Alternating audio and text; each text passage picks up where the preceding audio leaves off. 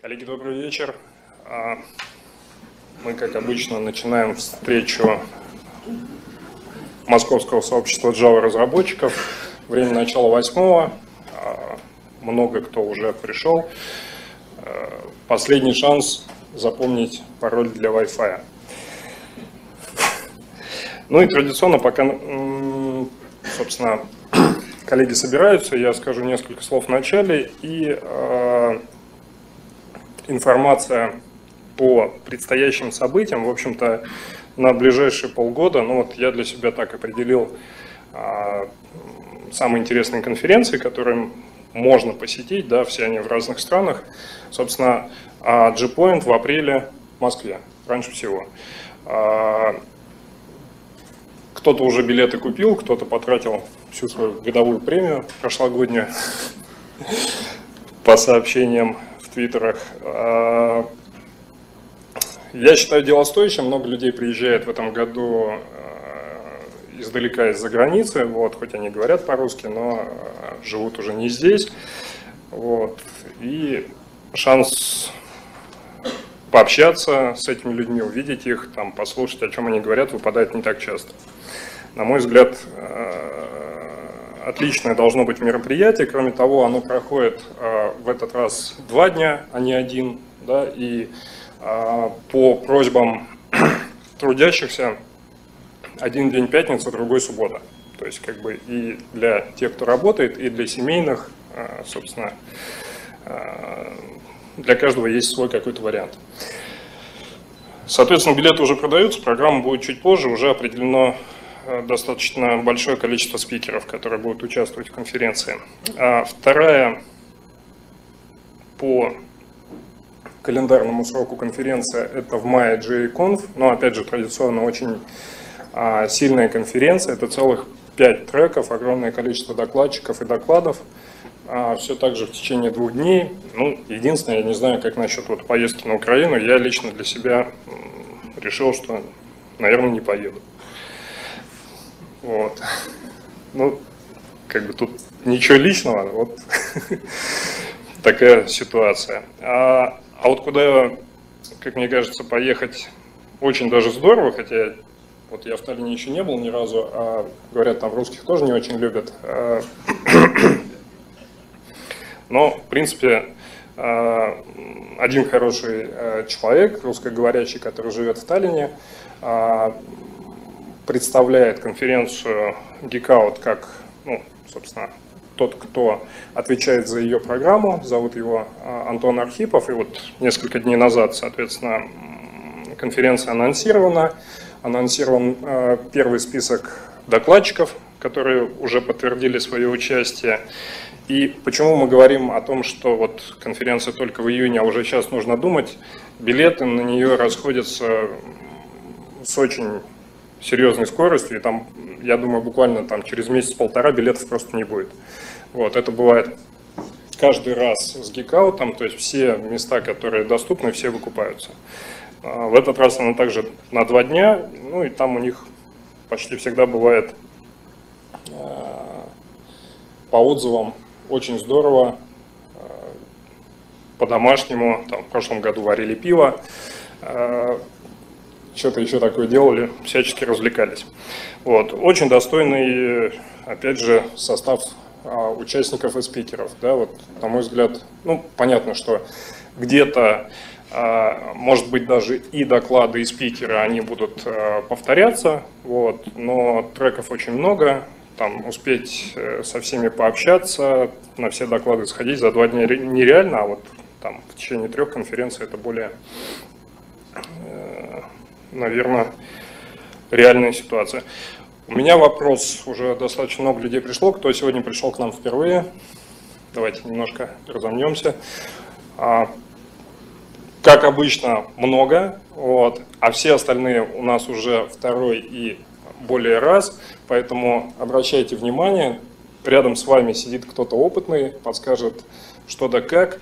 А, у меня уже спрашивали почему мы, э, ну, скажем так, не проявляем какой-то особой активности онлайн, вот я считаю, что Джук это, в общем-то, такое офлайновое событие, это место, где вы можете познакомиться, а, подружиться, пообщаться со своими коллегами, которые живут в том же самом городе, занимаются тем же самым, чем и вы, или, может быть, чем-то немножко другим, но, а, в общем-то, всех нас связывает а, работа на одних и тех же технологиях.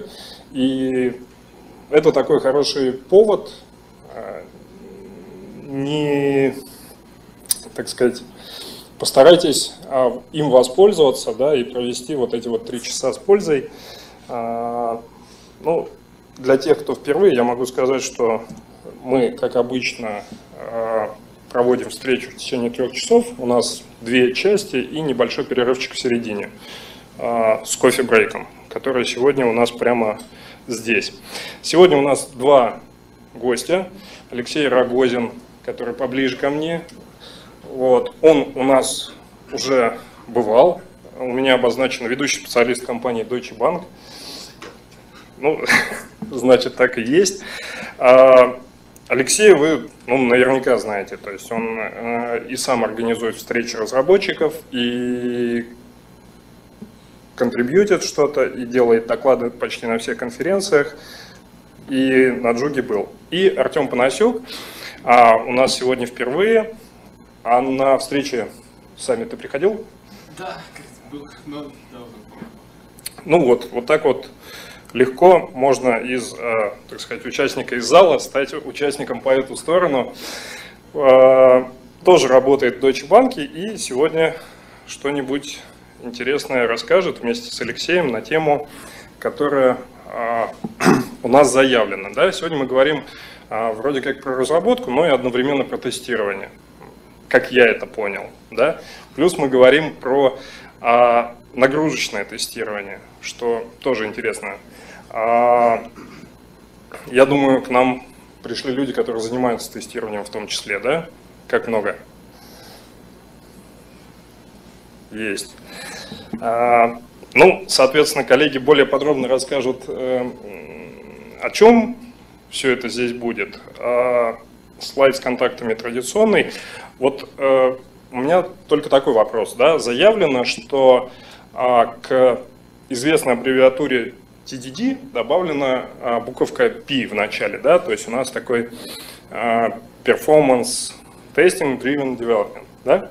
А, соответственно, такой вопрос, вот в связи с этим, не боитесь ли вы а, такой вещи, которая случается у некоторых мужчин, а, преждевременной оптимизации? И как вы планируете с этим бороться? Как раз лекарство преждевременное. А, вот оно в чем дело, да? То есть, по ну, сути, весь смысл этого, чтобы вместо того, чтобы заниматься оптимизацией, заниматься делом. Отлично. Ну, тогда к делу. Так. А, добрый вечер, коллеги. А, ну, как меня уже представили, я Алексей Рогозин, со мной мой коллега Артем Панасюк. Нас с ним можно назвать э, ветеранами такой технологии, как in-memory data grid. Мы несколько лет посвятили построению а, решений на этой технологии. Сначала в компании Grid Dynamics, потом а, в Deutsche Bank ну, как бы особенность этой технологии, то, что оно используется для создания каких-то высокопроизводительных сервисов, которые работают под нагрузкой, которые работают в кластерном режиме, которые выдерживают прямое попадание термоядерной бомбы. Вот. А, и поскольку технология новая и модная, то мы, у нас была возможность поучаствовать во многих проектах сначала, что очень здорово. Соответственно, с этой работы как бы возник, возникли те идеи, тот фреймворк, про который я сейчас расскажу. А, пару слов как бы, о структуре доклада. А, сначала я сделаю некоторую вводную, что такое концепция Performance Test Driven Development и что такое нагрузочное тестирование с точки зрения разработчика. Потому что на самом деле вот точки зрения моя и точки зрения всех тех остальных докладчиков, которые, как правило, занимаются нагрузочным тестированием, имеют титул перформанс-инженеров, они существенно отличаются. И как бы вопрос не в том, кто лучше в этом разбирается, а вопрос в том, что почему и как бы и как взять лучшее от обоих подходов. А, ну и, наконец, уже, наверное, во второй части я более подробно перейду к тому, а, что мы, какой стек инструментов мы сделали, чтобы решать свои потребности в нагрузочном тестировании, как удалось это сделать на чистой, практически ванильной яве, а, и при этом заставить работать очень даже неплохо. Итак, а, позвольте мне начать. Так, кликер, кликер работает. Замечательно. А, первый тезис, с которого я хочу начать, опять же, возвращаясь к перформанс-инженерам. Вот когда Андрей спросил про тестирование, рук было немного. На самом деле все мы тестируем. Просто кто-то тестирует в, во время тестирования, а кто-то тестирует во время продакшена. Вот. И с этой точки зрения, как бы работа QA, работа перформанс-инженера, то, чтобы, чтобы не пропустить в продакшн то, что потом там сломается. И все. Вот это вот единственная функция. В общем, как бы для него важно, зеленая лампочка прошло, не прошло, сломается, не сломается. Если оно сломается, ну окей, да, там, когда сломается, есть некоторое пространство, а, но с точки зрения меня, как разработчика, мне даже не важно, сломается оно, не сломается. Мне интересно вообще, в принципе, поведение, все асимптотики, как выглядит графика времени отклика системы от а, нагрузки в нормальном режиме работы, в стрессовом режиме работы, в там, таких условиях эксперимента на трех серверах, на четырех серверах. Почему? Потому что мне надо все это понимать, потому что в какой-то момент мне нужно будет принять решение, а с каким все-таки набором э, железа, с каким все-таки дизайном системы идти в продакшн, чтобы выполнить те SLA, которые у меня есть, и чтобы когда я все это сделаю, э, на тестировании была, загорелась зеленая лампочка, а не красная. Э, возвращаясь к сути тестирования, между нагрузочным и функциональным есть существенная разница. Если мы рассмотрим вот некоторый э, абстрактный жизненный цикл проекта от идеи до выхода в продакшн, то с точки зрения функционала у нас сначала ничего нету, как бы нет ни функционала, нет ни тестов, мы пишем функционал, его становится больше, тестов становится больше, а, происходит какой-то там пик, когда у нас все ломается, потом происходит некоторая стабилизация, и в общем э, к, там, в последние 3-4 недели перед релизом. А, баги, конечно, есть, их, конечно, чинить противно, но если все было сделано а, нормально, то это как бы с этим можно жить. А, с точки зрения нагрузочного тестирования, мы сразу закладываем основные решения, направленные на поддержание той нагрузки, которая нам нужна, дизайн системы. Там, выбираем, что у нас будет обычная база данных или кластеризованная, там, э, и так далее. Синхронная запись на диск, несинхронная. Мы схему выстраиваем одним образом или другим, оптимизируем на, на запись или на чтение. Мы принимаем эти решения, и, и по-хорошему, вот уже на начальном этапе мы понимаем, какие у нас будут SLA, какие нам нужны сценарии тестирования, чтобы эти SLA проверить. И количество сценариев нагрузочного тестирования, оно не растет с, э, э, так сказать, с тем, как система движется к релизу. Оно некоторое вот в начале появляется у нас набор базовых требований, и, и все. Но если мы поймем, что мы этим требованиям не удовлетворяем за три недели до релиза, то пить боржоми оказывается уже поздно как бы там менять схему базы данных и так далее, это все безумно дорого, потому что там изменение того, как у нас э, там, происходит индексирование каких-то, то есть изменение э, какие-то оптимизации в логике нашего кода, они могут очень существенно задеть функционал там, на разных уровнях, и там, цена перетестирования, цена исправления ошибок будет уже очень большая. Отсюда мораль. Тестировать надо сразу, как только вы понимаете, какие у вас сценарии тестирования, брать и тестировать, вместо того, чтобы заниматься оптимизацией. Поэтому как бы, э, алгоритм борьбы с преждевременной оптимизацией. Ничего не оптимизируем, пишем код, чтобы он что-нибудь делал. Э, пишем на него сценарии тестирования нагрузочные, там как бы они бывают разные, там от, микро, от микробенчмарков до микрораспределенных бенчмарков.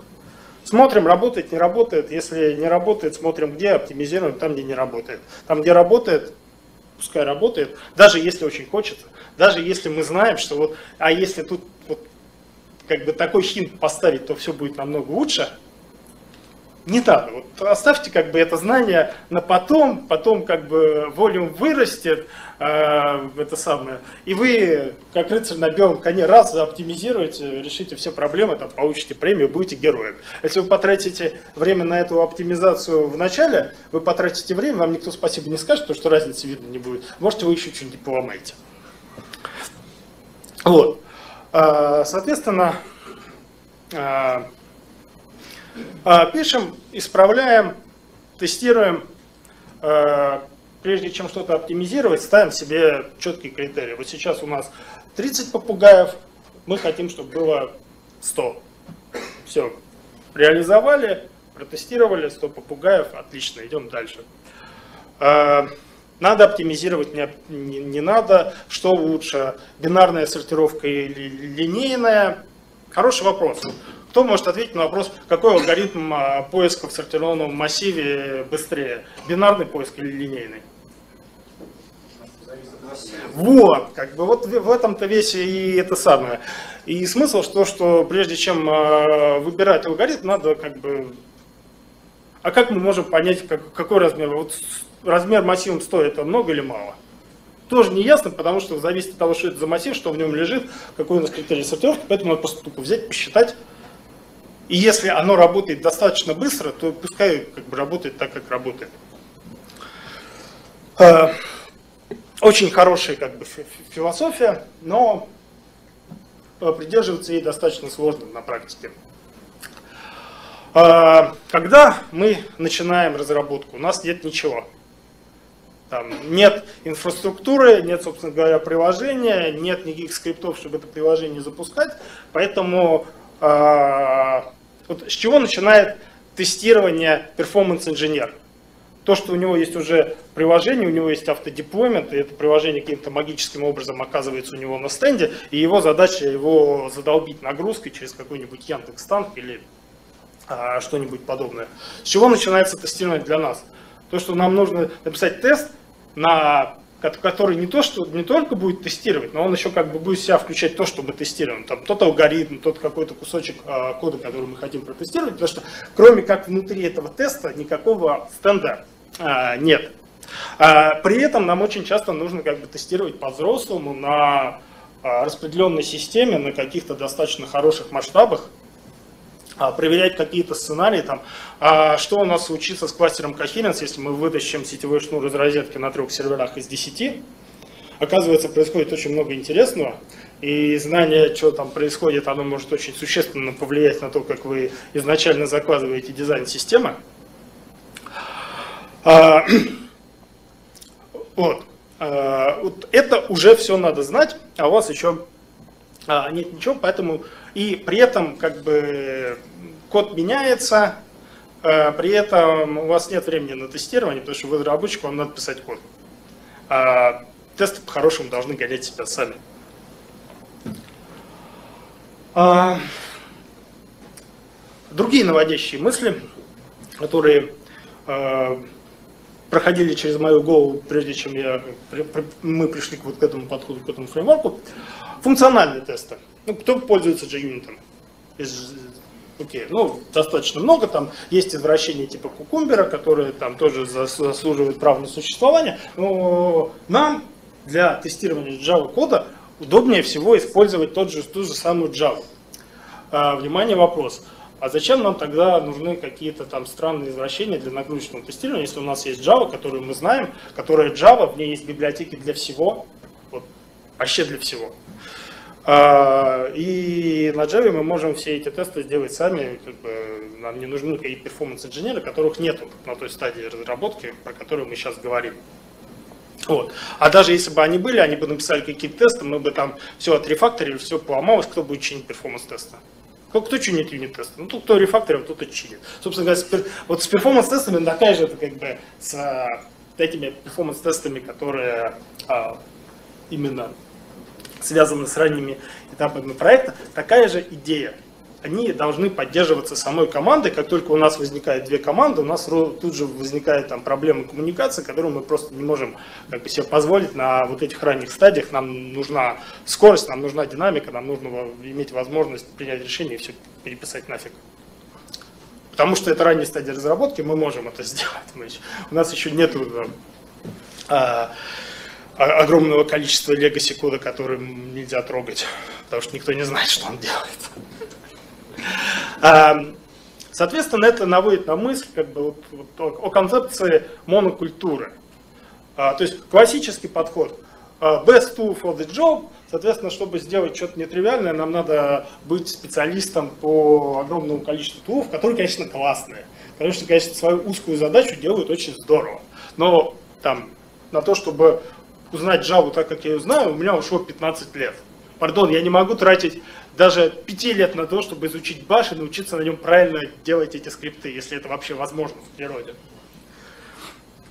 А, и так далее. Там, ладно, как бы я достаточно power user с точки зрения Excel, но все равно какие-то вещи э, в Excel, блин, ну, разве что на Visual Basic написать. Зачем мне писать в Excel на Visual Basic, если я могу написать на Java без всякого Excel?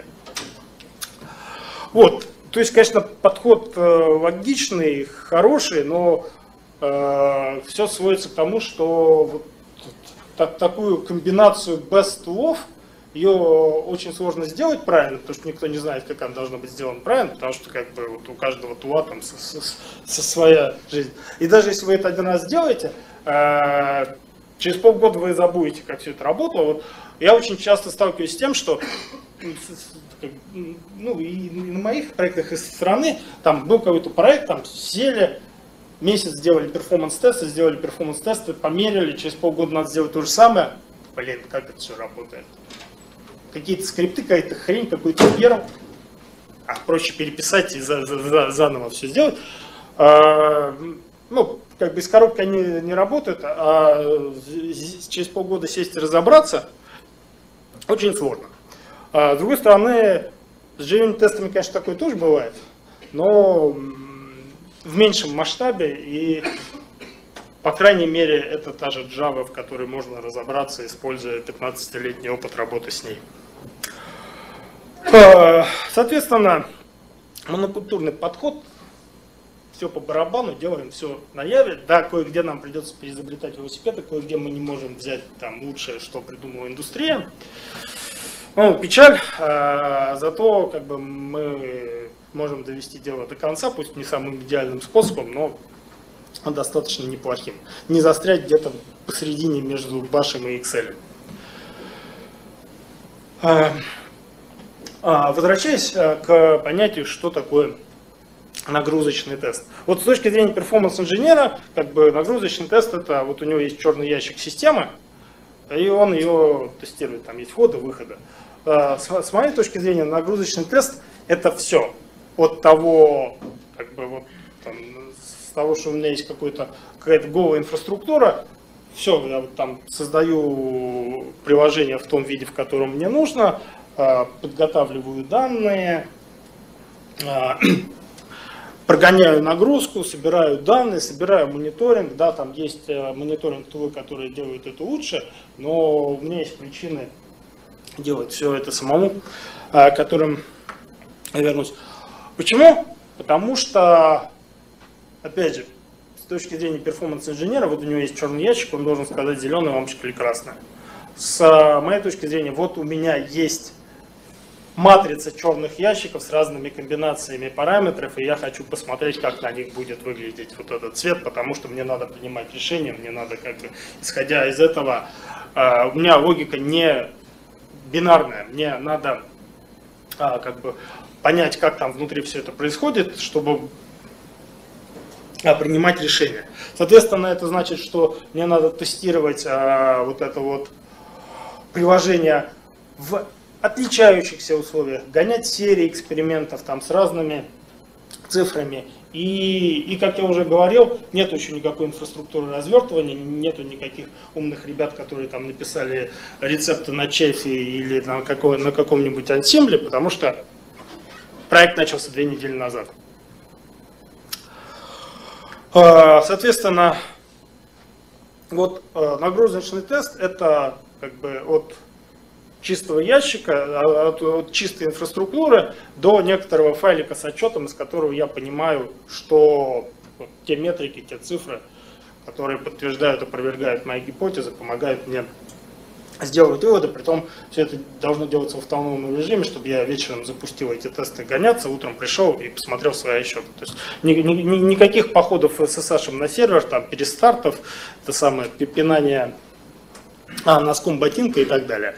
Вот по этой же причине я, мы в свой фреймворк включили э, мониторинг окружения, который, казалось бы, стандартный. Там, в том же Deutsche Bank у нас там есть глобальная система, которая мониторит э, всю инфраструктуру, там можно посмотреть для любого сервера базовые параметры операционной системы, но когда я прихожу на утро и вижу этот отчет, вот я не буду так вот, о, так, так, какое время, так, так, так, а что у нас в это время происходило на этом сервере, а на этом, а на этом, а на этом, а у меня их 100. То есть мне надо, чтобы все, что мне нужно знать, уже было в этом отчете. Поэтому мы засовываем это в эксперимент тоже. А, в результате, после вот а, проб и ошибок, а, попыток практикования performance stress development с переменным успехом, иногда, кстати, с очень, очень хорошим успехом, когда мы там реально ну, у меня вот такой был красочный пример на моей практике, Proof of Concept на когеренции. Я очень молодой, очень горячий, там нахожу в интернете самые модные штуки, которые можно делать с Oracle Coherence, включаю в это там, в, в архитектуру. Uh, у меня 9 недель на разработку, чтобы показать цифры заказчику. Я начинаю нагрузочное тестирование где-то через полторы недели после старта этого проекта и хватаюсь за голову. Потому что все эти те модные штуки, которые я скачал, они работают раз 50-100 медленнее, чем я думал. И как бы вместо того, чтобы там, завершать проект по плану, я начинаю ночами перепиливать это самое, вбивать костыли, искать какие-то воркараунды. 9 недель овертайма, но я таки успеваю это самое забить критическую массу костылей, чтобы показать те результаты, которые, а, которые это приложение должно показать. Да, архитектура, конечно, получилась полный отстой, но, по крайней мере, поскольку я начал эти костыли вбивать на второй неделе проекта, а не на последней, как бы задача Proof of Concept была вы, выполнена, цифры мы показали. Дальше, в общем-то, на то он и Proof of Concept, чтобы, э, так сказать, морально вырасти над собой и сделать все э, правильно. Э, вот. Иногда не совсем работает, но возвращаюсь к стеку инструментов. Во-первых, как бы есть разница между стеком инструментов и фреймворком. Фреймворк это такое что-то монолитное, как бы нажал кнопку, работает. А, вот такие вещи оказываются очень гибкие, потому что, да, конечно, нажал кнопку, работает, очень здорово, но практически всегда оказывается, что вы что-то забыли. Там, да, вот раза с десятого вы этот фреймворк правильно напишете. Но мы с Артемом не занимаемся написанием фреймворков для нагрузочного тестирования. Мы занимаемся деливери там, каких-то это самое, проектов высоконагруженных сервисов. Поэтому 10 раз пытаться... Ну, то есть, собственно говоря, в каком-то смысле это и происходит, что на каждом проекте там рождался какой-то фреймворк, который в принципе неплохо работал на, в рамках того проекта, там реально помогал, но на следующем проекте ты вот так чешешь затылок, думаешь, а хочу ли я вот это вот взять и перетащить сюда и использовать снова? И с удивлением себя понимаешь, что да ну нафиг, сделаю. Да, даже, даже непонятно почему, просто как-то вот набор костылей, который вот в это вписывается хорошо, а в это уже не вписывается. А, поэтому все с мертвой точки зрения сдвинулось с мертвой точки, когда мы, так сказать, начали из вот этих вот фреймворков вытаскивать те кусочки, которые работали, и от мы от э, понятия фреймворков перешли к понятию стека. Мы как бы делаем у нас есть там конкретные проблемы, которые надо решить для того, чтобы провести свое нагрузочное тестирование. Вот, как бы этот кусочек решает вот эту проблему. Вот здесь вот мы сейчас напишем как бы, говнокод, который сойдет для этого проекта, потом все выкинем, потому что все не знаем, как это сделать правильно. А вот тут у нас есть хорошая идея. Сейчас мы ее как бы, сделаем начисто. Вот, вот так в результате некоторых итераций такой стек вырисовался. И а, он состоит, так сказать, в принципе, как бы полный стек сейчас а, в моих глазах выглядит из четырех элементов. А, это уровень, который позволяет управлять инфраструктурой, то есть которому вы даете ваши сервера, железные, виртуальные, с клауда, неважно. Главное, чтобы там был SSH и там была Java, и дальше все будет работать автоматически, вот, который решает эту задачу. Эту задачу он решает хорошо. А, в, в этой роли у нас выступает библиотека NanoCloud, про которую я уже рассказывал в рамках московского джуга. Она, в принципе, родилась раньше, как бы она родилась как библиотека для функционального тестирования, потом постепенно немножко неочевидным образом превратилась в библиотеку для управления распределенной средой. А, ну и она по-прежнему продолжает жить немножко своей жизнью, то есть она активно используется вне всего этого стека. А, дальше есть задача управления распределенным сценарием. Я вернусь к ней, потому что не совсем очевидно. И решения, которые в итоге привели к формированию этого уровня, они тоже шли довольно замысловатым путем, но по сути это задача оркестрации. То есть вот у нас есть э, сложный сценарий, нам надо задеплоить, то есть там что-то куда-то скопировать, запустить здесь это, подождать, пока это выполнится, запустить то, потом подождать, пока э, все везде запустилось. Да, э, начать, собственно, нагрузочное тестирование, через час нагрузочное тестирование остановить, э, собрать данные. А, подобного рода вещи, когда как бы, подобного рода вещи еще умножаются на распределенную среду из нескольких десяток сотен узлов, эта задача становится э, немножко неожиданно нетривиальной. Э, третьим элементом этого стека это различные вспомогательные компоненты, которые, собственно говоря, в рамках вот этого сценария решают мелкие проблемы вроде того, а вот нам там нужен такой-то хелпер, чтобы задеплоить, а нам нужна такая-то штука, чтобы там собрать статистику с операционной системы, а нам нужен, в общем-то, универсальный механизм, чтобы метрики, собранные вот в распределенной системе, сагрегировать на одном узле, на управляющем узле и как бы выдать в каком-то формате. Вот, и, наконец, а, третий элемент стека – это подготовка отчета. Вот тут, честно говоря, вот мы вообще так, так ничего и не придумали умно. В итоге на текущий момент самое продвинутое решение – это а, после теста все данные, которые мы насобирали, вывалить в многомегабайтный CSV файл, ну, потому что там очень подробные данные, то есть там каждый тестовый элемент с, с таймингами и так далее. То есть если это там какая-нибудь система с нагрузкой 10 тысяч операций в секунду, которая тестировалась час, то, то, то легким движением руки уже получаете сколько там, 30 миллионов э, ивентов одних. Вот, а помимо этого есть еще там всякие ЦПУ, нагрузка на сеть, э, еще всякая мелочевка. Э, вот. А, соответственно, а, вот так мы разбили эту задачу по уровням.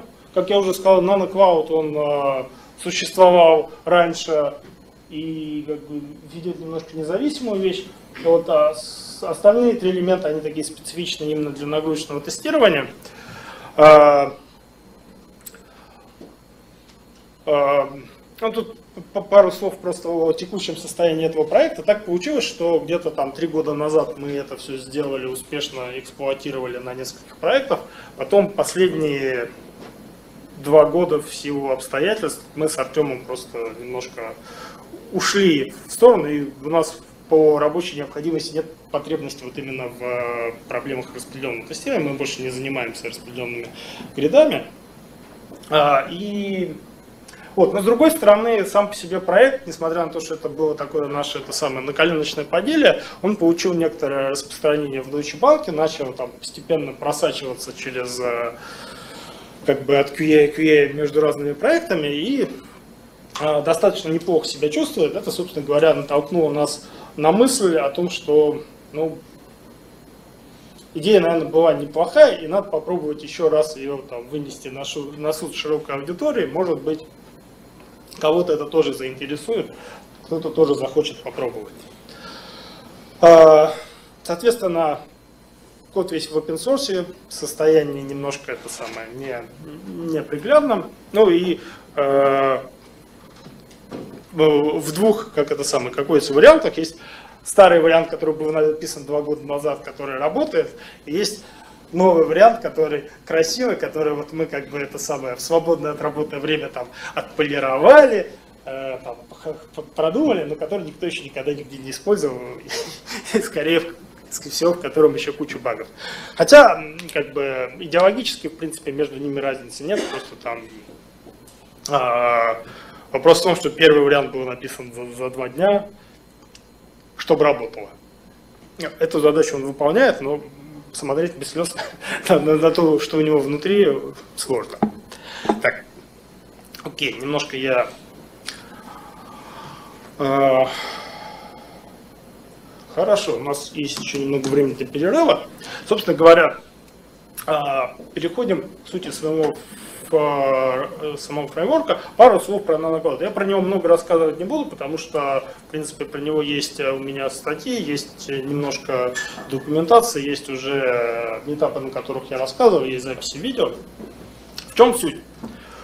А, мне всегда как бы нравилась идея, как можно писать а, распределенный код на баш. То есть вот у меня есть баш, который выполняется локально, а я могу вот все то же самое сказать SSH, и оно хлоп выполняется удаленно. Вот абсолютно точно так же. Без, без всяких там э, интерфейсов, колбеков, фабрик-фабрик и прочего. Э, у этого все есть один недостаток, это баш, на нем ничего нельзя писать. А мне хочется все-таки, чтобы вот так же легко, но на нормальном языке.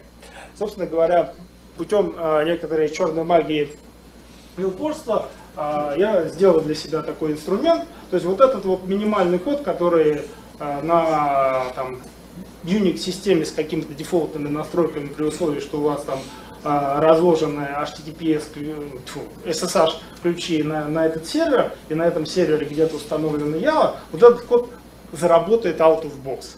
И вот как бы все, вы, вы говорите там, я хочу выполнить код на вот этом сервере, передаете некоторый колоблок, внутри него код, и этого достаточно. То есть все, что на удаленной стороне должно быть, там должен быть SSH, который вас пустит там с, вашим дефолтным э, ключом.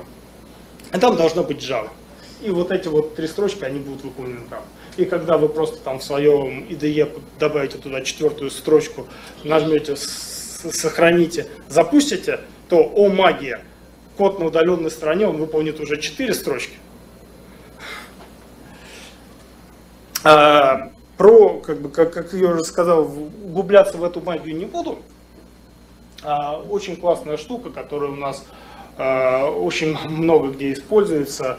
Ну, изначально это было сделано для тестирования, как бы мы внутри одной JVM поднимали вот таких э, там, псевдо узлы, чтобы сделать псевдокластер и там писали распределенные тесты. Типа я на одном в одном процессе там вложу в распределенный кэш, в другом процессе читаю, что, там как бы, то, что положил, проверяю, что там действительно то, что нужно. Вот. А потом, в принципе, то же самое очень хорошо легло на как бы, более менее отвязанное от тестирования задачи как в реальной распределенной среде. А, как я уже сказал, это все работает а, при условии, что у вас есть SSHD, Java 1.6 и выше, Э, работает через Firewall, работает через NAT. Э, изначально я все это начал девелопить на Амазоне. В общем, работает везде, где у вас работает SSH. Э, вся коммуникация между управляющим узлом, то есть это тот процесс, который вы запускаете там на своем десктопе, и удаленной стороной, они туннелируются в SSH-соединение, то есть там никаких портов открывать не надо. А, а, реально решает кучу проблем за счет этого. Вот. И там как, всякие нюансы. Ну, вот те, кто занимался распределенными тестами, они меня понимают. Мне самому не раз приходилось после там, запуска какого-то теста ходить по нескольким десяткам серверов и убивать зависшие процессы, которые там ждут, что им кто-то пришлет, им пришлет какие-то там данные, откроет какие-то сокеты, а уже никто не пришлет, потому что весь, весь тест, весь сценарий давно развалился. То есть вот эти все проблемы, они закрыты. Если там у нас где-то остался вот этот slave процесс, который потерял своего мастера, он рано или поздно умрет. Есть несколько механизмов, которые контролируют, чтобы он умер. Там, даже если вы мастер-процесс там, в дебаггере закрыли, то есть там никаких шатдаун-куков, ни, ни, ничего не сработало, а, все равно один из механизмов там, в течение минуты всех а, оставшихся от него слоев по всему миру изничтожит. А,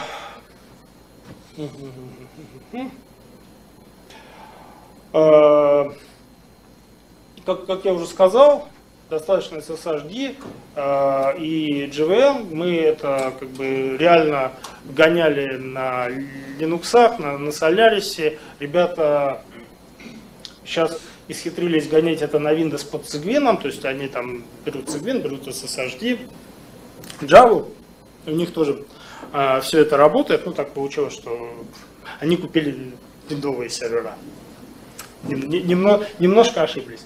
Вот.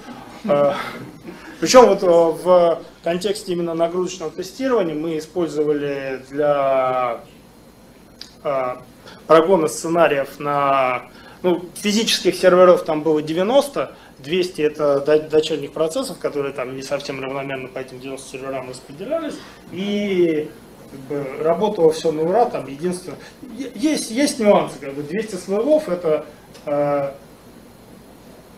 там каждый слейв э, посылает пинг мастеру раз в 5 секунд, то есть здесь у нас получилось 200 пингов в 5 секунд, 40 пингов в минуту, так слегка сеть под, на, это самое, под напрягло, пришлось это самое, пинг интервал немножко для таких сценариев увеличить.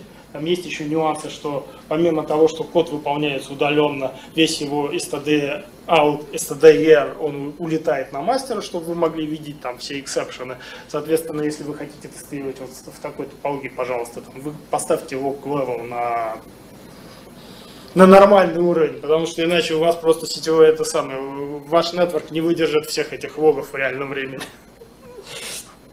Ну, такие банальные вещи, но как бы это самое фундаментально работает а, достаточно хорошо и как бы, проверено и в нагрузочном тестировании, и в ненагрузочном.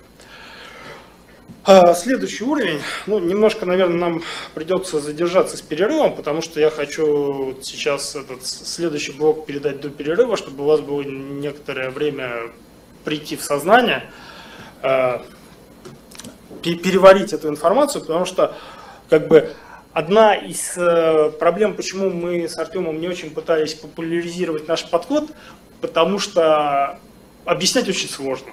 Как бы мы придумали настолько странную штуку, что нам просто лень было объяснять. То есть, как бы в рамках Deutsche Bank там, да, мы там, как бы, сесть там, самое, за полчаса про парного программирования можно показать все идеи, а вот для более широкой аудитории надо как-то поднапрячься, там, сделать красивую презентацию, желательно еще примерчики какие-то. Ну вот сейчас мы как раз поднапряглись, презентацию сделали, э, с примерчиками немножко пока что еще маловато, но дело нажимное. Итак,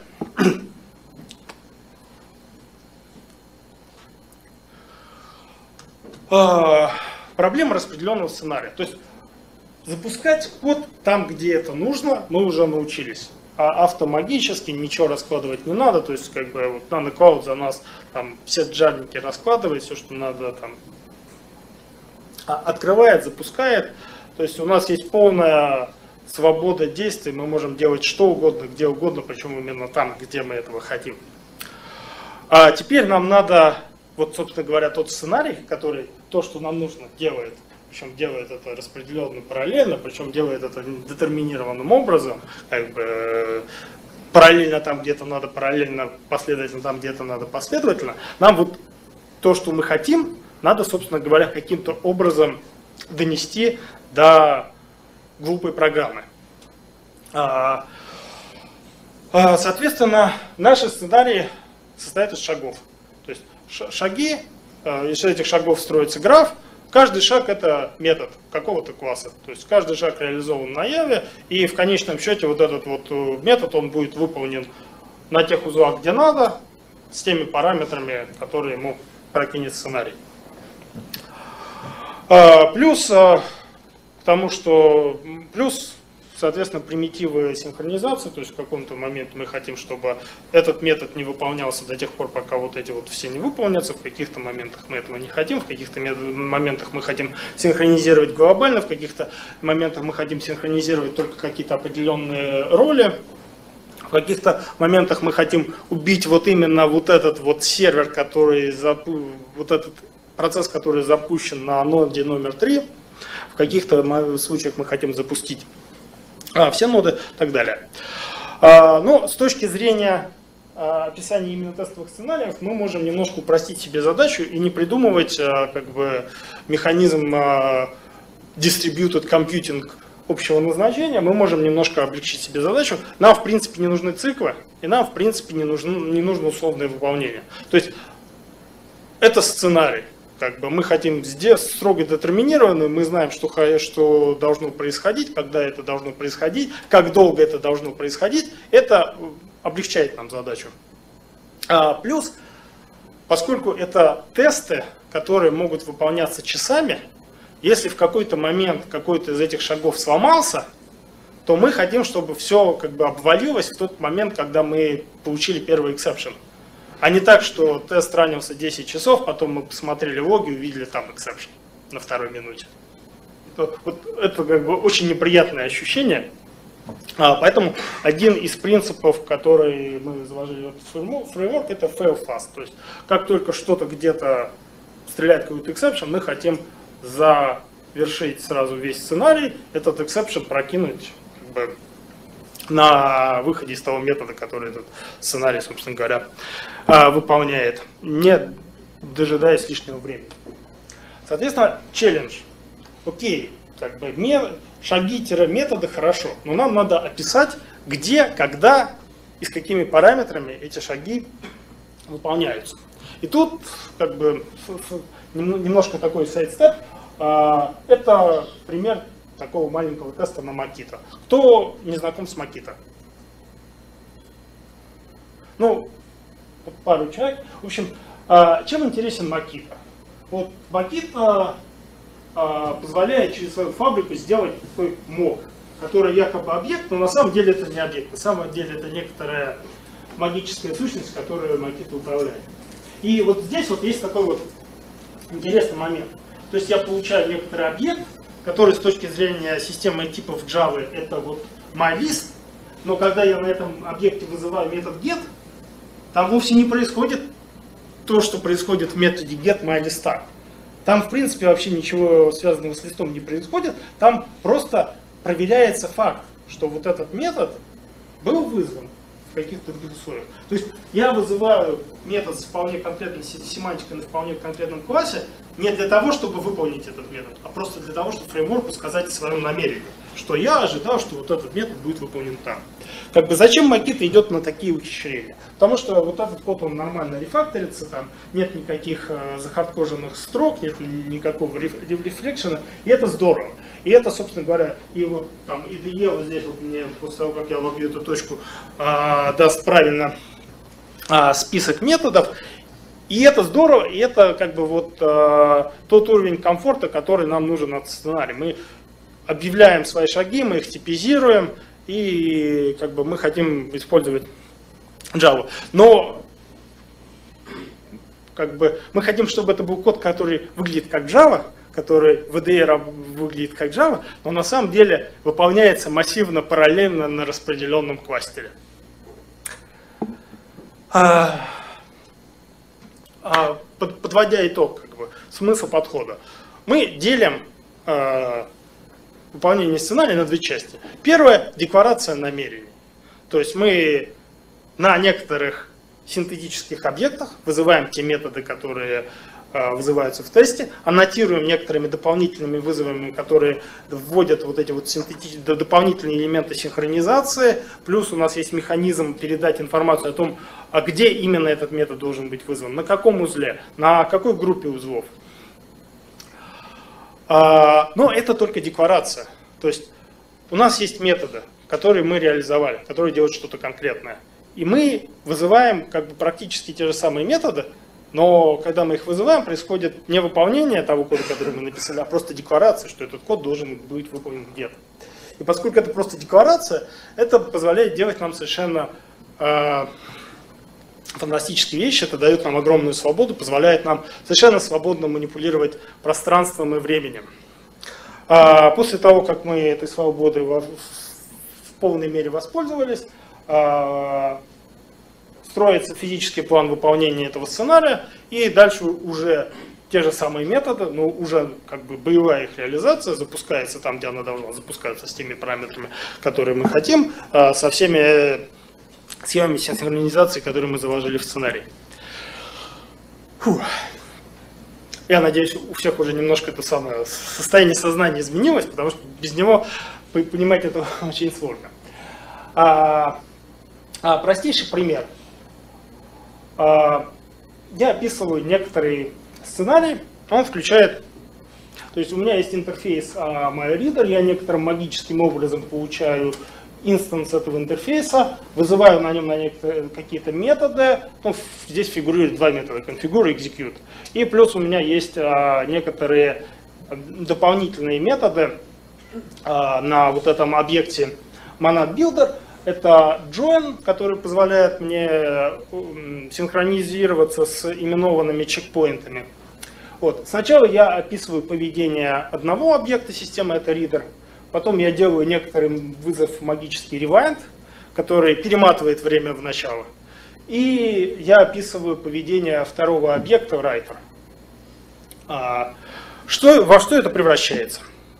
Это превращается вот в такой граф выполнения. То есть у нас есть некоторая точка начала, у нас есть два параллельных процесса, каждый из этих процессов включает в себя два...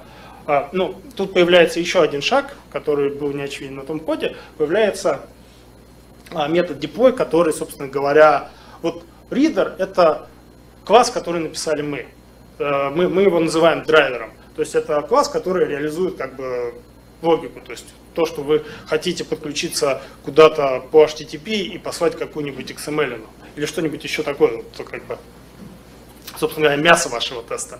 Вот, это, это ваш класс, который, этот метод должен выполниться на какой-то удаленной машине, и, соответственно, нам нужно, чтобы инстанс этого класса на этой удаленной машине появился, и у нас появляется, появляется еще такой шаг deploy, то есть это физическое, факт физического размещения там этого объекта, как, э, как правило, мы просто его в ходе эксперимента сериализуем, а потом раскидываем э, а, по всем машинам. А, собственно говоря, он там появляется, после этого на нем вызывается метод, после, на нем, после этого происходит синхронизация между этими двумя параллельными процессами на чекпоинте, который называется старт. А, после этого старта происходит э, снова в параллельный метод, вызов метода execute и синхронизация на чекпоинте дат, который как бы символизирует, что тест завершен. А, а, вот такая простая идея.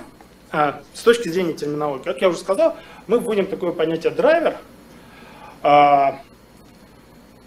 Драйвер должен декларировать интерфейс. Поскольку мы используем, в отличие от Makita, джавовские прокси, мы ограничены тем, что вот все вот эти синтетические объекты, которыми мы пользуемся, они должны быть интерфейсами. Соответственно, мы как бы, специально заводим такое понятие драйвер. Оно не то чтобы, как бы, то есть это не маркерный интерфейс, это не, не какие-нибудь аннотации, это просто как бы термин, который подразумевает под собой определенную функциональность. То есть драйвер – это некоторый класс, который реализует какие-то шаги, который в ходе эксперимента будет размещен на каком-то узле, и там эти шаги будут вызываться. То есть он должен быть сериализованным, чтобы мы могли его туда переместить, он должен там, не, не ожидать чего-нибудь странного, там, типа каких-нибудь системных проперти, которые мы не планируем туда инжектить. Я, в принципе, а, если нам действительно нужны системные проперти для какой-то библиотеки, через Nano Cloud мы этим, а, это все можем достаточно легко заменеджить. Соответственно, этот драйвер реализует некоторый интерфейс. Этот интерфейс это как бы вот те шаги, каждый метод этот шаг, и вот эти вот э, шаги мы, соответственно, в сценарии можем использовать. Шаг может вернуть, создать новый объект, который мы вернем как интерфейс. Соответственно, вот в том сценарии, в момент декларации мы получим на него стаб, мы этот стаб можем передать в качестве параметра другому методу, и как бы вот эта связь, что в метод x надо передать объект, который был создан на предыдущем шаге методом y, она будет а, учтена в структуре сценария, и в момент выполнения на вот какой-то ноде, там тот объект, который вернул реальный метод, мы запомним, и следующий метод передадим именно его объект, как бы локально, там, без, без всякой сериализации, потому что они на, на одной машине работают. То есть вот это все работает, плюс э, все зависимости по данным, они включаются в топологию запуска команд, то есть вы не сможете запустить метод, если еще не создан, не отработал тот метод, который является, создает входной параметр для него. Хм, очевидно. А, ну, кроме этого, мы в качестве параметров этих методов можем передавать какие-то константы, то есть а, то, что вот мы задали в момент декларации сценария, что сериализовалось и потом как бы долетело. Вот. Плюс у драйвера как бы мы декларируем, где этот драйвер должен быть размещен. А, возвращаясь к коду. Значит, вот тот же самый код, аннотированный. А, есть переменный reader, туда попадает вот этот dynamic proxy, который как бы создается для драйвера. Этот dynamic proxy создается в некотором в некоторой локации. То есть вот это последовательность вызовов локатор, cloud.class, reader это некоторая декларация, что вот у нас есть такая роль локатор. В, в старом фрейворке вот эта вся декларация, это была просто одна там строка. В новом фрейворке там можно задать, э, там придумать свои механизмы именования локации, через а, собственные интерфейсы и методы, которые могут понимать любые параметры. Но суть в том, что в момент выполнения как бы вот эта информация, то, что вот у нас э, метод add был вызван с параметром reader, она будет превращена в ключ, и по этому ключу мы найдем как бы физические узлы, на которых, которые соответствуют этой роли, на которых должен быть размещен этот драйвер. Э, еще один момент, мы разделяем физическую топологию эксперимента от логической. И это очень важно, потому что, а, как правило, когда вы делаете большие тесты, вы хотите сначала ваш тест отладить на маленькой топологии, то есть вы ставите, что, окей, я буду грузить нагрузку с одного сервера, буду иметь один сервер в кластере, а, вместо двух часов у меня тест будет идти 30 секунд, но я как бы хочу протестировать, что логика его работает, что я вот там действительно все происходит, все коннектится, я не получаю эксепшенов, я получаю какие-то осмысленные цифры, я вот это вот все у себя, как правило, даже без кластера, просто используя то свойство, что NanoCloud, он тоже абстрагирован от физического выполнения, то есть то, что э, с точки зрения кода выполнение на кластере из 100 машин ничем не отличается от выполнения в одной JVM в 100 класс-лоудерах или даже без кроссоводеров можно. А, вот. Соответственно, я это отваживаю, а, отладил, потом просто меняю параметры, и как бы в момент отладки у меня этой роли лидер соответствовал один логический узел, в момент выполнения уже настоящего теста этой роли будет соответствовать 10 логических узлов или 100. А, не принципиально. Суть в том, что вот, э, вот этот прокси-ридер, он привязан к вот этому логическому описанию локации, и это значит, что все методы, которые мы выполняем на этом бине, они будут выполняться на всех копиях этого бина, во всех локациях, как бы абсолютно идентичным образом. А, мы вызываем на нем какой-то метод. Дальше у нас есть магические вызовы join, которые на вход передают семьи чекпоинт. Это как бы мы говорим, что вот у нас есть некоторый естественный поток выполнения – и мы просто вводим вот эти вот синтетические объекты checkpoint и метод join, вызванный на вот этом нашем билдере сценария, он говорит о том, что вот все шаги, которые были выполнены там с момента последней синхронизации с чекпоинтами, вот они все должны быть выполнены до того, как будет пройден этот чекпоинт. И, соответственно, чекпоинт именованный, поэтому мы можем описывать одну последовательность выполнения, откатывать время, описывать другую, использовать те же самые чекпоинты, и таким образом там 10 параллельных потоков мы можем описать в виде цикла, который вначале откатывается назад и там делает те же самые операции. То есть как бы, мы контролируем пространство и время. А, да. А где здесь передается вот адрес там, ноды? А, это задается в конфигурации теста, то есть вот э, в, в реальности а, есть вот это описание, оно, ну, я говорю, это новое API, ставим немножко по-другому. И там просто у нас используется конвенция, что вот у нас задается там некоторый кластер, и у него узлы именуются. И вот имя узла по конвенции это там имя узла и список его ролей через точку. И... То есть, здесь в локаторе уже будут как бы все узлы нет, вот, вот здесь еще неизвестно ничего. То есть мы сначала записываем сценарий, как бы он превращается в обособленный объект, и только когда мы э, подготавливаем план выполнения, мы смотрим, какой, какая у нас реальная топология, какой у нас кластер, какие у нас роли, и замапливаем как бы, вот эту логическую э, э, абстрактный сценарий на топологию. И уже знаем, сколько будет узлов. И вот уже только в тот момент мы узнаем, на каких именно узлах как, как они называются, какие у них IP-адреса э, и так далее, какие у них там connection credentials, а, будет выполняться вот этот вот э, объект reader. Причем вот здесь две роли, reader writer, то есть это могут быть в одной топологии разные сервера, в другой топологии мы, как бы у нас вообще один сервер, мы вообще все запускаем на одном сервере. Как, как я уже говорю, просто как, дебажим локально наш сценарий. А да. Join это вот типа как join процесс или просто методы а join это как join процессов. Да, то есть вот а, возвращаясь к этой схеме, а, у меня есть два параллельных процесса, и есть вот этот checkpoint start, и как бы вот в обоих случаях на, на этом join я говорю, что checkpoint start должен дождаться того, что оба, обе эти активности закончатся.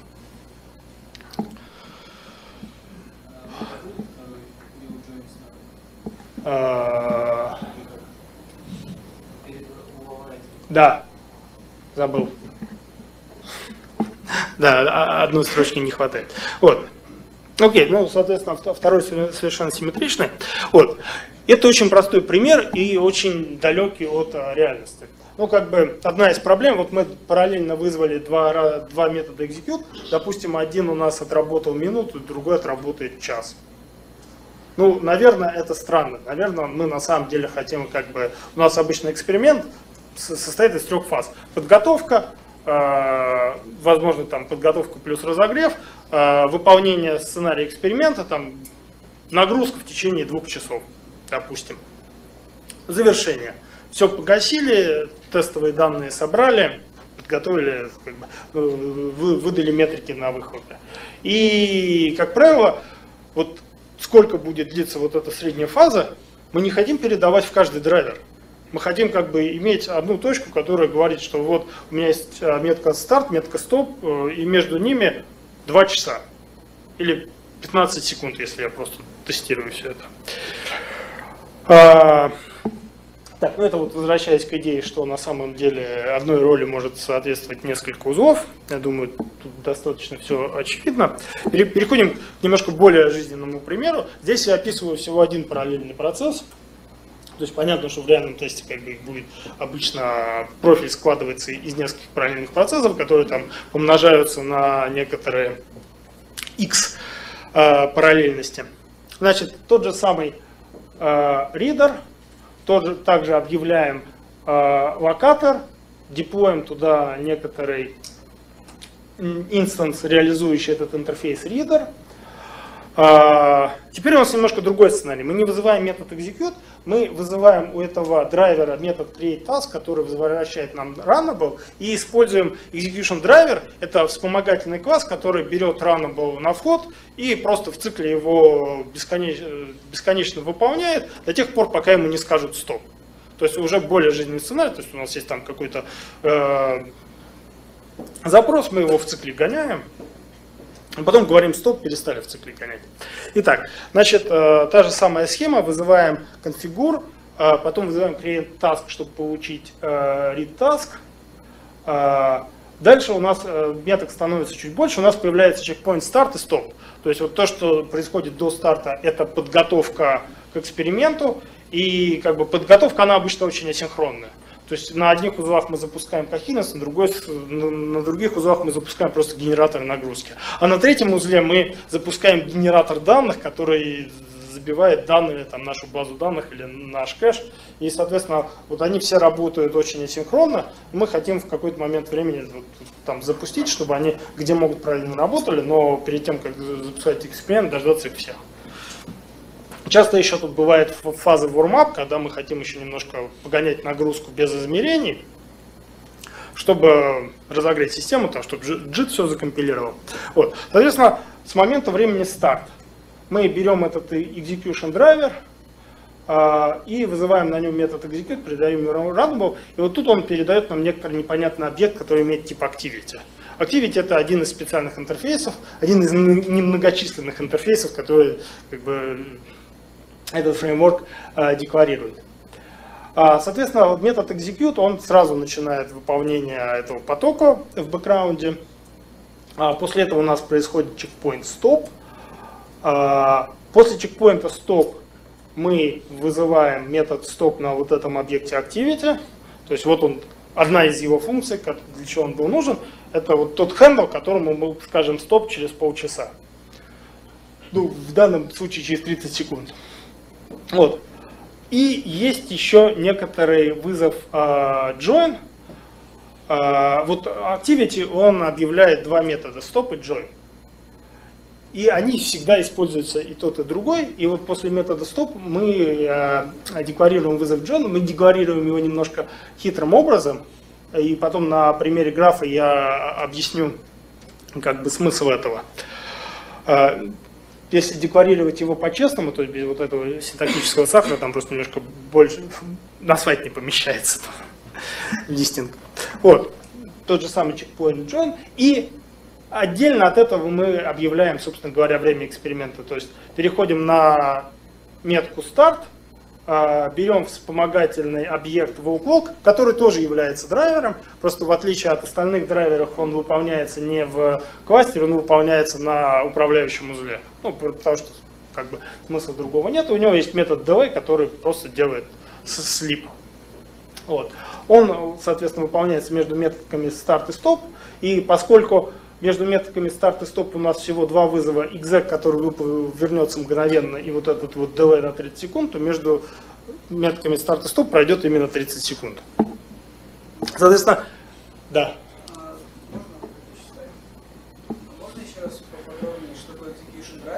А, а, чуть позже, да, тут как бы есть, есть, есть доля черной магии. Сначала да, с графом закончим, а потом execution drive. Ну, чтобы было понятно, я бы вот, вот этот э, bin, это ссылка на, а, на условно говоря, именованный bin, его можно было с чистой совестью за, за, заменить на deploy какого-то, ну, собственно говоря, на такой же deploy, но без указания локатора. Потому что есть специальный механизм, который знает, что если мы указали bin без указания локатора, мы можем косвенным образом заинферить, на каких а, локациях его надо заинициировать, по тому, в каких операциях он используется. То есть вот у нас есть bin read task, который существует только на локаторе reader, и для вызова метод execute нужен вот этот вот bin task, поэтому мы можем сделать вывод, что по крайней мере, на роли reader нам этот инстанс понадобится, и мы его там инстанцируем. То есть это такая ленивая инициализация, но которая делается до начала выполнения, то есть мы заранее все это просчитываем. А если без этого механизма просто было бы э, описание во многих практических случаях сильно громоздкое из-за того, что вот эти вспомогательные драйвера нам бы приходилось декларировать там в разных... То есть одно дело, что мы наш как бы специфик драйвер размещаем, куда нам нужно. Другое дело, что вот эту вот всякую вспомогательную вещь, как бы с, с ней хочется, чтобы она просто сама догадывалась, где ей надо выполняться. А, какую именно информацию? А, Да, но если бы у меня, как, как говорится, был бы еще параллельный поток выполнений, и я бы там зареференсил тот же самый execution driver, то фреймворк бы понял, что этот э, инстанс этого бина нужен и в этой роли, и в этой роли. А, Соответственно, здесь у нас получается такой граф, на начало похожее, дальше вот между configure и create task у нас есть некоторые не- не- непонятная конструкция. В коде она выглядела как вызов метода sync на билдере. Зачем она нужна? Потому что э, те вот вызовы методов, которые у нас в Java последовательные, с точки зрения сценария, они по- считаются параллельными. И поскольку мы не хотим, чтобы у нас был рейс, чтобы у нас create task был вызван до того, как а, закончит выполняться конфигур, мы вставляем туда чекпоинт, который говорит, что вот методы, то есть по, по сути это такой это самый ба- барьер. То есть все методы, которые до этого барьера, должны закончить выполнение, прежде чем будут выполняться методы, которые после этого барьера. А, а В, начальных версиях у нас там, грубо говоря, были решимы этого сценария билдера, там э, по умолчанию параллельный запуск, по умолчанию последовательный запуск. Но на практике вам, как правило, хочется, чтобы все, что может выполняться параллельно, выполнялось параллельно. В зависимости по данным они автоматически цепляются. Э, Вот только вот в таких методах, вещах, когда нам нужно обеспечить как бы, вот, завершение одного метода до начала другого, но при этом у нас нету задекларированной зависимости по данным, приходится использовать вот эти синкпоинты. А чекпоинт, он локален для узла, то есть чекпоинт, он глобальный для всего графа, а чекпоинт, он локальный до некоторого потока выполнения, то есть если бы у нас было несколько этих потоков, то на одном потоке уже, в одном узле уже конфигур прошел, create, таск начал выполняться, в другом конфигур еще не прошел, они между собой не синхронизируются, только в рамках одного потока выполнения. Итак, выполняем create task а, после того, как мы выполнили... а, Так, тут, тут ошибка, create task выполняется. Нет, ошибки нет. Все в соответствии с кодом. То есть мы выполнили create task. Допустим, create task мог бы делать что-нибудь тяжелое, то есть открывать какое-нибудь соединение, которое требует времени, а в ходе эксперимента мы просто через это соединение хотим про- посылать и хотим как бы пере- э, время, которое требуется на инициализацию этого соединения, оставить вне эксперимента, вне рамок а, эксперимента. А, Дальше происходит работа с нашим exec-драйвером, выполняется метод execute. Вот этот метод execute, он в момент выполнения создает фоновый поток, передает в него этот runnable, начинает там крутиться. На выход он нам дает а, вот этот метод activity. Параллельно с ним идет, то есть execute выполняется достаточно быстро. То есть там понятное время, что нужно какое-то какое-то время на то, чтобы сходить на удаленный узел, сказать, что тебе надо выполнить этот метод, там создался поток, э, как бы все это вернулось, то это достаточно быстро. Ам, Соответственно, walk это вот то, то- тот инструмент, э, которым мы управляем как бы реальным временем между а, экспериментом. И после того, как время прошло, у нас произойдет э, join на чекпоинте стоп, и мы вызываем метод стоп, останавливаем этот поток. Это тоже какое-то время за- занимает. Происходит да. Зачем нужен join? А, вот тут неочевидный момент. Как я уже сказал, у нас э, концепция fail fast. То есть как только где-то произошел exception, мы хотим, чтобы фреймворк сразу как бы, о, exception, все, завершаем, exception показали, эксперимент закрыли, э, ресурсы освободили. То есть если у нас там последовательность этих экспериментов, какой-то из них зафейлился, все, следующий начинает работать с той же самой инфраструктурой. А, вот между методами старт и стоп у нас 30 секунд. И в эти 30 секунд у нас не выполняется ни один метод. То есть фреймворк может получить exception только из вызова методов. А что у нас происходит в эти 30 секунд? Exec уже завершился, он создал фоновый поток и вернул. Волклок никакого отношения к эксперименту не имеет, из него ни- никак не вылетит. И если там вот этот вот наш таск взорвался и сыпет эксепшенами, никто об этом не узнает. Поэтому нужен join. А join, он запускается сразу, как только так сразу, вот, этот а, вот этот вот вспомогательный метод join, он делает такую ма- магическую вещь, он делает ревинт на начальную, э, начальный чекпоинт, э, вызывает метод join и как бы восстанавливает э, контекст. То есть он с точки зрения построения графа, то есть вот, вот эти вот все задачи, они всегда имеют зависимость по выполнению на предыдущий чекпоинт. А join, он создает вызов join, который не имеет зависимости на выполнение на предыдущий чекпоинт, соответственно, он имеет только зависимость по данным. И, соответственно, он а, будет выполнен как только у нас создается этот объект activity, то есть сразу после того, как завершился execute, у нас сразу будет вызван а, join на этом activity, и этот join, он не завершается до тех пор, пока вот этот фоновый поток живет. Но если в этом фоновом потоке что-то случилось, случился exception, то он этот exception прокидывает через join, этот, join, этот exception долетит до фреймворка, и мы будем знать, что у нас случился exception во время выполнения до того, как пройдет 30 секунд. Да. А?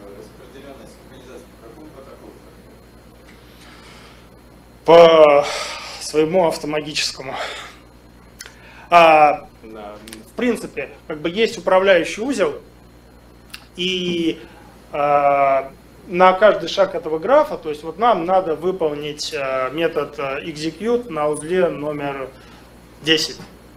А, Соответственно, мы делаем remote call на узел номер 10, говорим, что тебе надо выполнить вот такой-то метод на таком-то объекте с такими-то параметрами. Он его выполняет, вы- возвращает а, результат. Соответственно, на все вот эти вот переходы между, то есть управление, вот этот весь граф, он существует на управляющем узле, который там идет по этому графу, работает с зависимостями и только раскидывает, так вот ты выполняй вот это, ты выполняй вот это, как бы вот этот объектик положи вот, вот сюда, он там нам еще пригодится через три шага. Вот. То есть, а, а? Да. Да, совершенно верно. Вот, а, соответственно, для этого нам а, для работы с фоновыми про- про- процессами нужен вот этот вот а, интерфейс Activity, который а, декларирует два метода start и join, которые мы используем для управления а, какими-то фоновыми действиями, которые, которых очень много на, на- самом деле. В, как, раз из них состоит сам боевая часть сценария. А,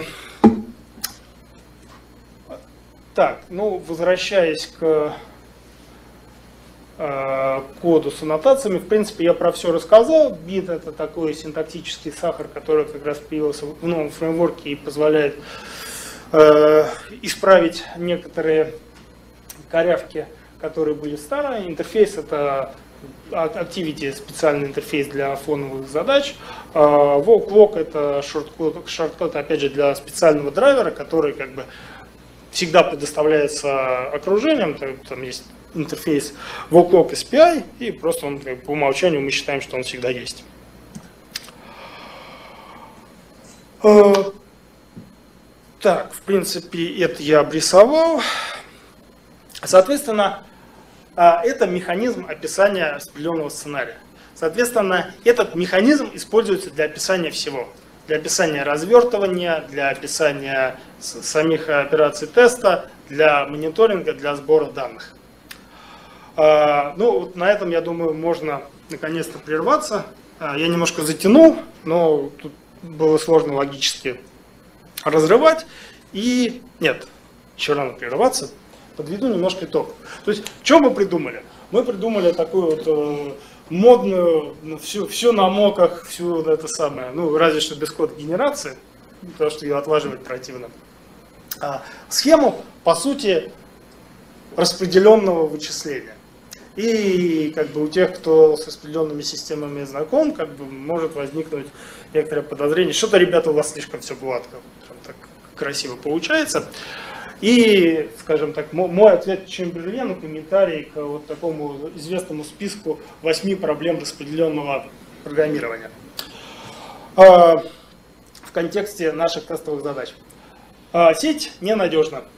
Окей, если случилась проблема, как бы то, что нам нужно сделать, это положить весь сценарий, потому что тестовый сценарий должен быть детерминирован. У нас нет задачи восстанавливаться после сбоев. Как бы, если что-то пошло не так, мы должны перезапустить. А, ну, нет, это заблуждение. Это заблуждение. А, проблема latency. А, Как я уже сказал, у нас вот э, распределенное общение происходит только вот в точках э, перехода к графу. То есть у нас в этом графе будет шагов ну несколько десятков. Время выполнения эксперимента там минуты, часы. То есть там то, та latency, которая у нас будет на все это взаимодействие, она, э, она, она картины не делает. То же самое с бендвинфом. Мы как бы занимаемся тем control flow, мы вообще в принципе не трогаем как бы не пытаемся передавать данные, даже метрики мы собираем, мы буферизируем на узлах и собираем их с узлов только после того, как эксперимент завершается, чтобы случайно не там, создать нагрузку на сейф в тот момент, когда там происходит тестирование. А, Про security ничего не знаю. Топология не изменяется то же самое. Если что-то что-то изменилось, значит надо как бы включить мозг, разобраться, как мне в условиях это самое измененной топологии а, запускать этот тест и перезапустить. А, Административные проблемы. Zero deployment, все, что вам нужно, это SSH credential, и вы можете запускать где угодно. То есть у нас постоянно была такая практика, что, как бы, ребята, у вас там сервера можно попользовать.